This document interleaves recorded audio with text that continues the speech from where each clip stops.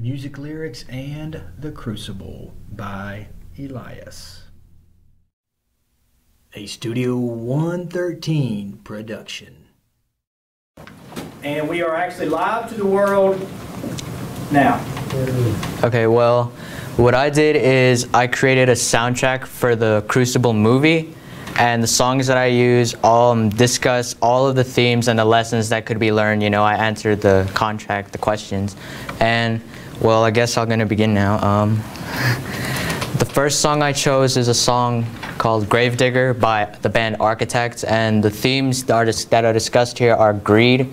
Um, the song itself is about corrupt politicians and you know their ideas on how to run the government, like and foreign policy and things. But I was able to take the lyrics and compare them to the court in the Crucible. I was able to take the lyrics and compare them to Abigail and the girls and what they were doing.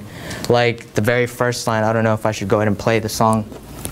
Um, the very first line right there, it says, an iron fist and a velvet glove, another vulture posing as a dove. And I guess I'm going to play that line now.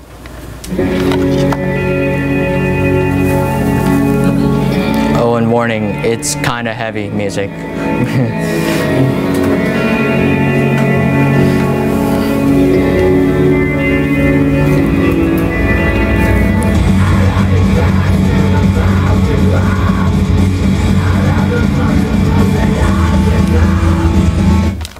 that line right there is a, it's a metaphor and it the iron fist and a velvet glove all that right there it represents the townspeople only accusing other people of witchcraft to for, to progress further in their own personal agenda to get what they want more than anything. Like but um, the people on the outside they see them as doing you know the work of God because they're accusing people of witchcraft you know they're in league with Satan it's only right but an example of people only accusing someone to further progress their own personal agenda and get what they want would be like Thomas Putnam when he accuses people to take their land. And the second line, which I guess I'll play now.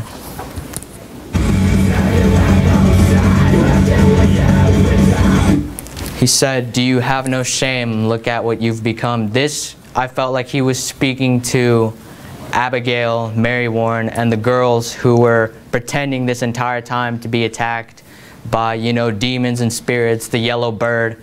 And they were doing that and they were making themselves look like victims when in fact they were the ones causing harm. Um, they jeopardized people's lives just to get what they want and to get out of trouble because, you know, they were dancing and doing that ritual with Tituba when they should have been receiving the punishment. Instead, they turned that around and made other people get punished for their actions. And that's what I thought. And the next line goes to the chorus.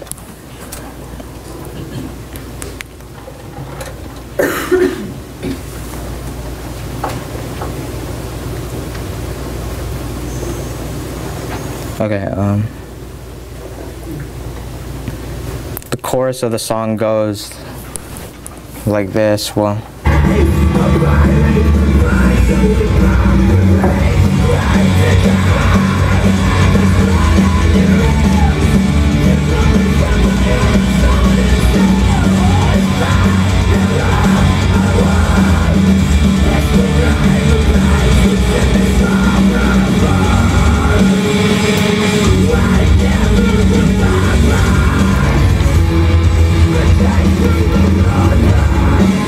If you hear what he just said, he said that line right there, line number three. History repeats. We've seen this all before.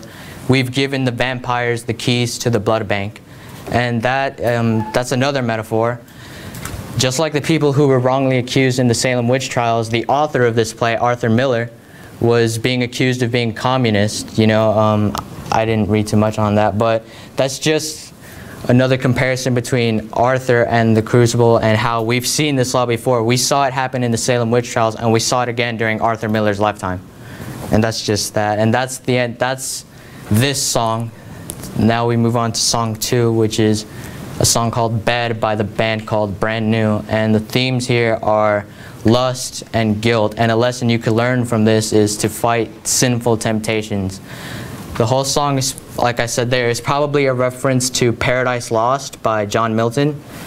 And, well, I guess I'll play the song now. It's not a heavy song, so don't worry.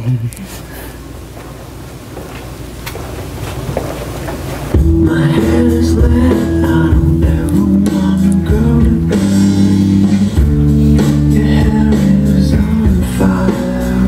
This song this line in particular, was really hard for me to analyze and compare to The Crucible because that's really vague. But what I got from it was that, like in the poem, Adam and Eve are in an argument, hence the lit and fire um, analogies, they're hot-headed.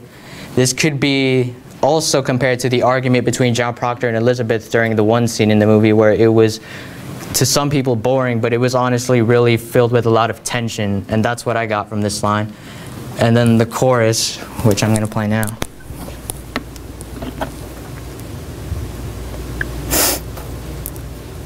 Okay.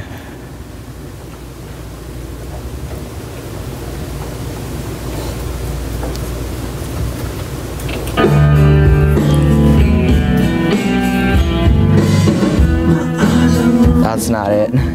But the chorus goes later on the bed, and that I also was really hard to interpret because the lyrics here are so, he's not really straightforward with what he's trying to say, but basically, at the end of the poem, Adam and Eve have become lustful towards each other, just like John Proctor became lustful towards Abigail, and that's what led to the previous line, which is where Abigail, I mean, where John Proctor and Elizabeth are arguing.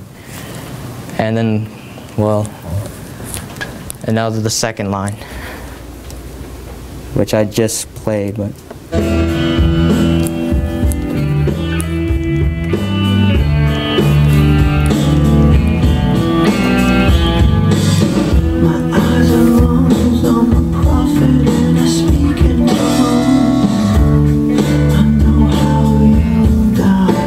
This line was the easiest one because if you put yourself in the perspective of Elizabeth, and you and you and you pretend that the singer for one moment is Abigail, it only confirms Elizabeth's suspicion of Abigail trying to have her killed. My eyes are lungs, I'm a prophet and I speak in tongues, I know how you'll die. That to me was like as if I was Elizabeth and that's Abigail basically telling me she's going to get me killed, she's going to get me hung. And that's what I got out of that line and that's the that is the second song on this on this album. Um, I only made it five songs because it would have been too long if I added more. So. And the third song is probably the saddest song here. It's called, again, it's by the same band, Brand New, but the song is called Jesus Christ. And the themes here are loneliness, regret, guilt, and a lesson learned here is to, you know, if you're religious, then repent, and before you make a dumb decision, think twice. So I'll get the song out now.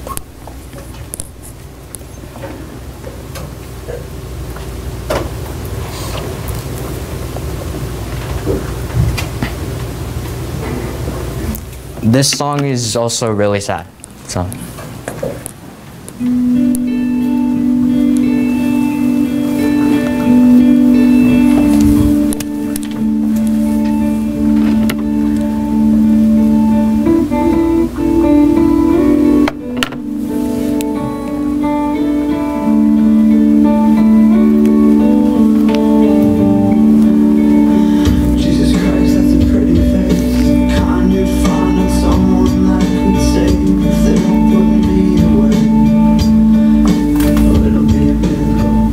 What the singer is saying here on that line, if they don't put me away, it would be a miracle. He's saying he doubts that salvation could truly help someone like him. Like maybe he's done something so bad he really fears that he won't be able to be saved from this.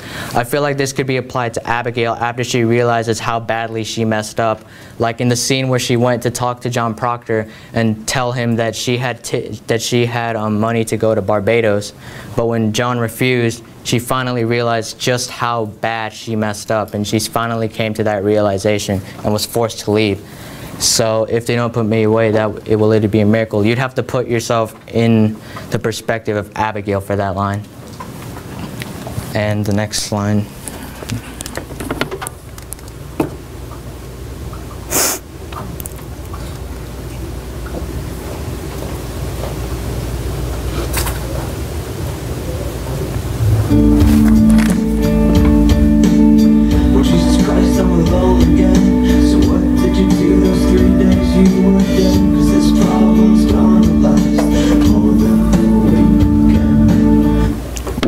Line says right there as well that in this case the singer is praying and he's asking Jesus what did he do those three days that he was dead before he resurrected because his problem and both Abigail's problem are going to last more than you know Saturday and Sunday and that's what I feel is probably what was running through Abigail's mind after she jeopardized people's lives and basically destroyed the town and left with, you know, Reverend Parris's life savings. And she's just looking back and reflecting on what she's done.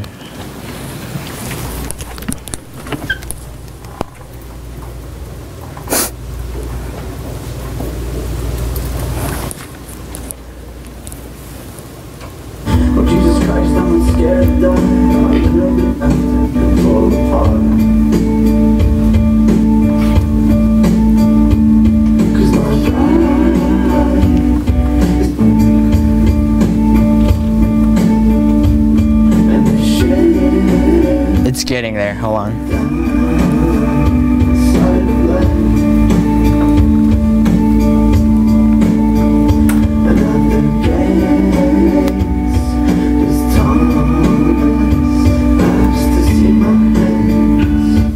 That third line is, and at the gates, this Thomas asked to see my hands. And again, this is just in the perspective of Abigail and what she's done. And this is an allusion to John 20, 25, where um, one of Jesus' disciples, Thomas, did not believe in Jesus' resurrection until he saw the holes in his hands. So what this is saying is she fears getting rejected from heaven after doing what they did. She's, he and she are wondering if, you know, will they, will Thomas ask to see their hands? Will they be rejected from heaven? And that's the third song. And now we're moving to the fourth song here. This one is 818 by a Christian metal band called The Devil Wears Prada. And the theme here is that, you know, even bad things happen to good people. And well, the title and the album name is an allusion to Romans 8:18, for I reckon that the sufferings of this present time are not worthy to be compared with the glory which shall be revealed in us.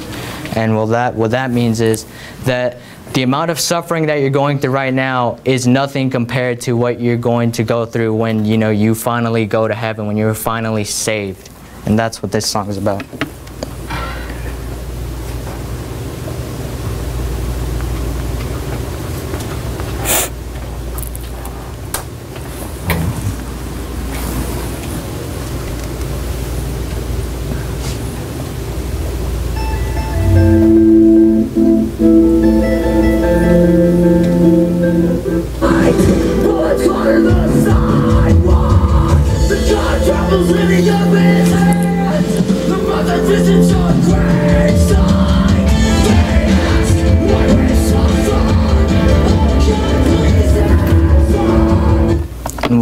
Line is, it's if you didn't understand that, he said, they ask why we suffer. Oh God, please answer.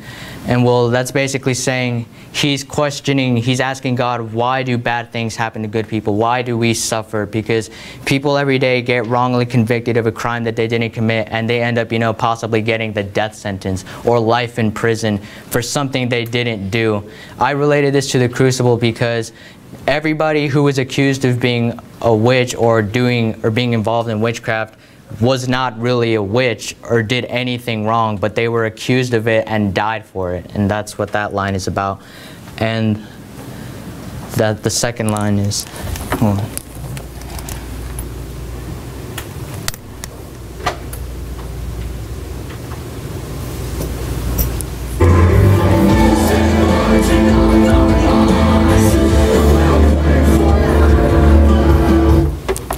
The city mourns another loss, but will pray forever. That line reminded me of the scene where John and the two women were actually finally executed. And the entire city, instead of, you know, being happy that, you know, they're being hung because they were accused of witchcraft, instead they mourned their loss because it's like deep down they knew they did nothing wrong, that they were being wrongly killed and that they will forever keep you know their memory alive in prayer from that point on. It also made me think of like you know john's children who are going to have to live the rest of their lives without him and they're going to forever keep them keep him alive in their heart and in prayer and that's what i got from that line.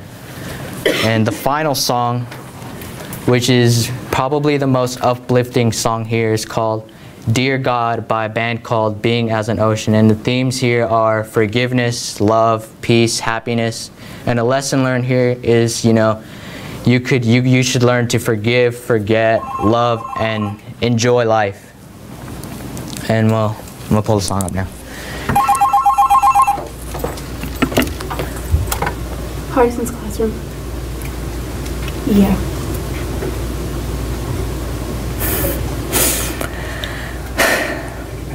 Can you call back later?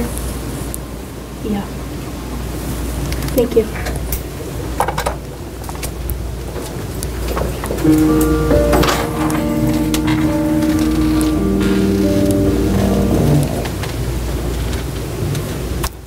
And the line that I had in mind goes something like this.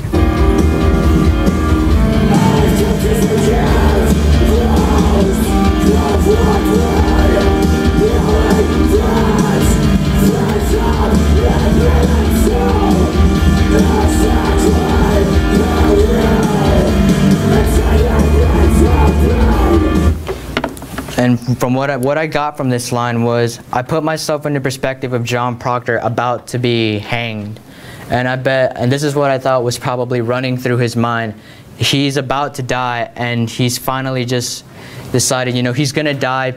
He's going to die for his faith. He's going to die knowing that he can forgive those who've done him wrong, and he knows that everything that is happening to him is only going to further mold him into the person that God intended him to be.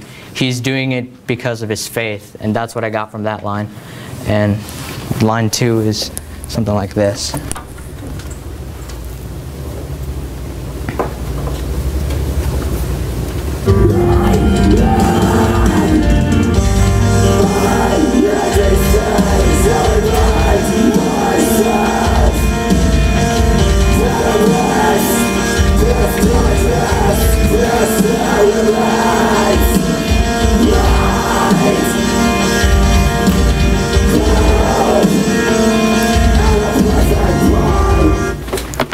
That line, he said, I write these things to remind myself that amidst this darkness, there still remains light, hope, and a perfect plan.